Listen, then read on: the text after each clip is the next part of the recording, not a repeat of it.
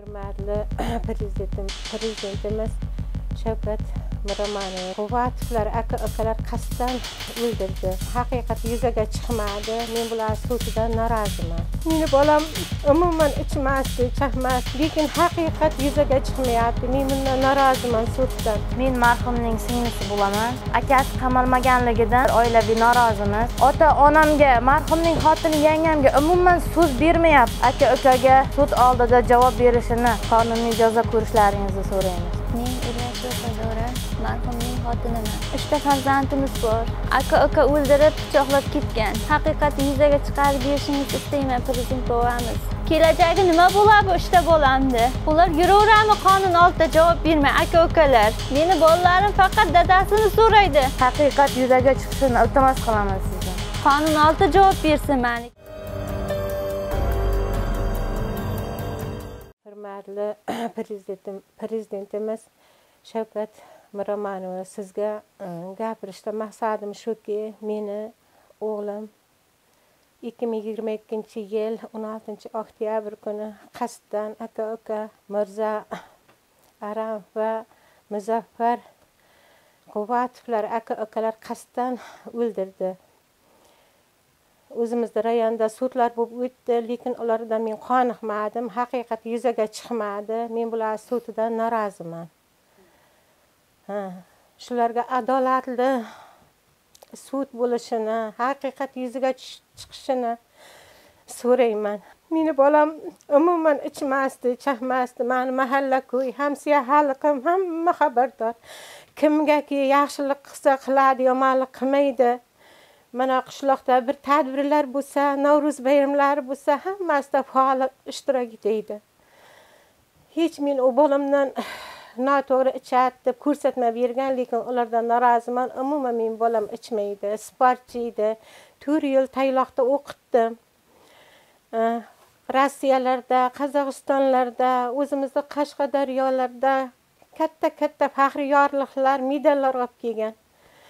Lekin haqiqat yuzaga chiqmayapti. Men bundan noroziman suddan. Haqiqat yuzaga chiqishini iltimos qilib so'rab qolaman. Men marhumning singlisi bo'laman.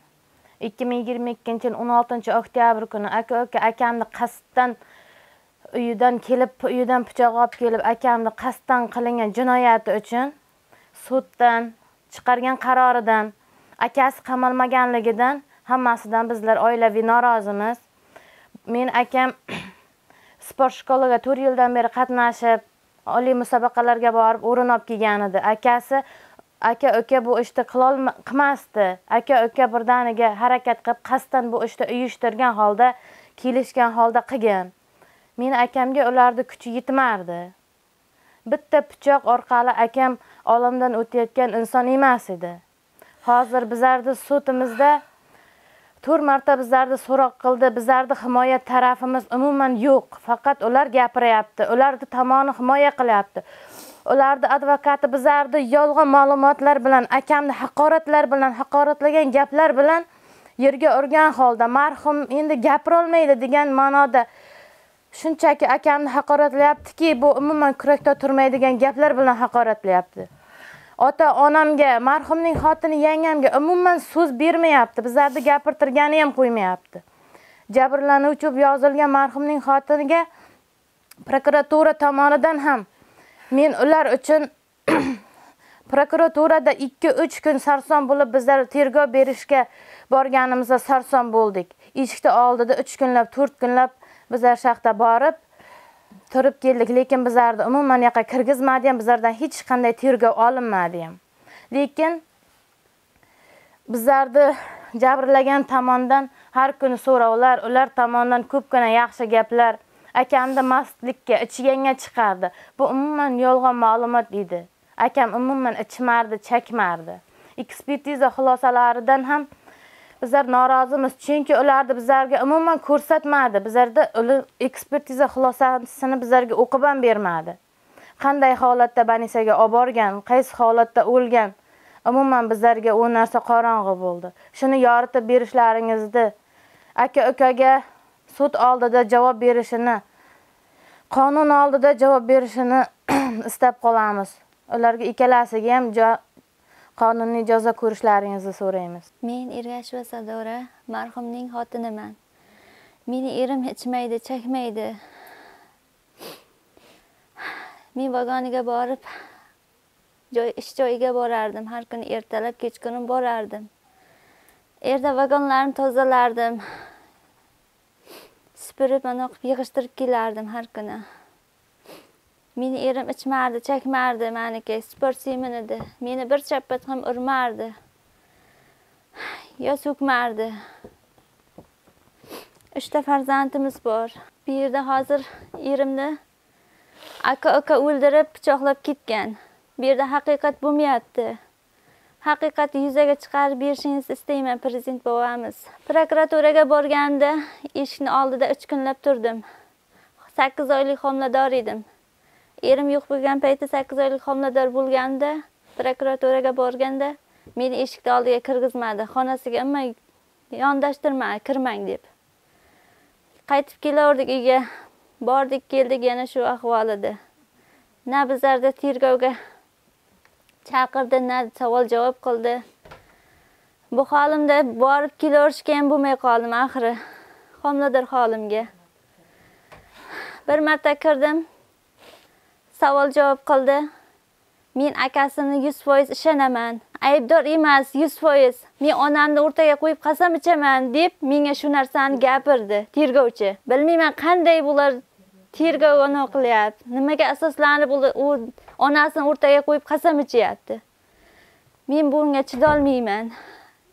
Qonun oldida javob bersin bu aka ukalar meni erim ichmal chakmadi maniki erim o'lgandan keyin chaqaloq qildim maniki uchta farzandim bor. Bir o'g'il bir ikki qiz. Men uchovini qanday qilib boqaman? Qaynona qaynotam mani bu ahvolda bu besh yuz mingdan besh yuz ming bir million olgan oyligi nima bo'ladi? Bu mani qaynotam mazasi yo'q. Qaynonaman davlina. Qanday men qayga boraman? Kelajagi nima bo'ladi bu uchta bolamni? Men o'zim mana chaqaloq bilan bo'lsam ular yuraveradimi qonun oldida javob bermay aka ukalar? Nima sababdan bularga qonun oldida javob bermayapti? Javob bersin haqiqat yuzaga chiqsin. O'n bir yil bergan bunga. Akasi begunoh deyapti. Aka uka birlar qilgan u narsani. Meni bolalarim faqat dadasini so'raydi.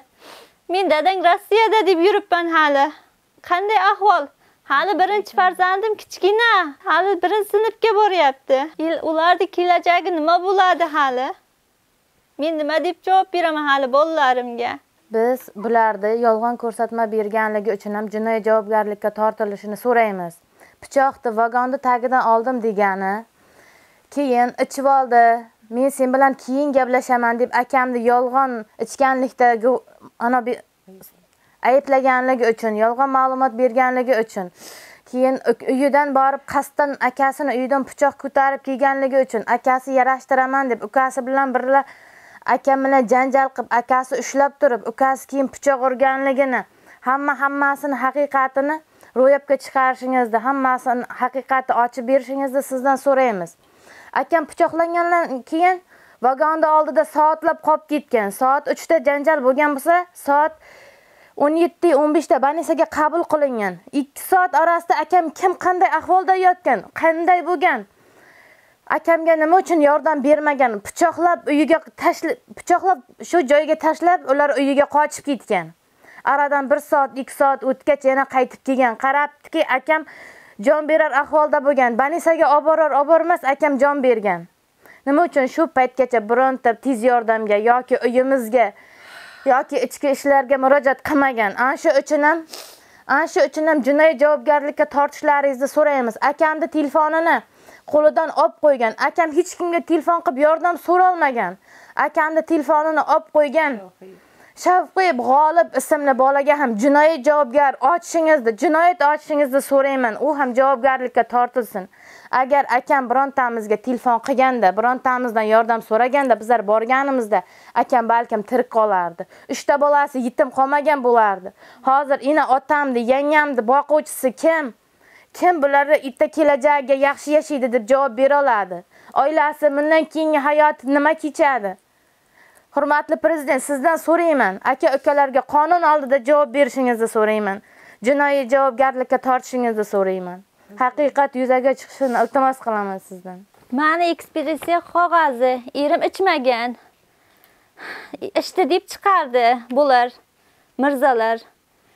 Lekin erim ichmaydi ham chakmaydi ham qonun oldida javob bersin maniki yolg'on guvohlik bergani uchun ham javob bersin.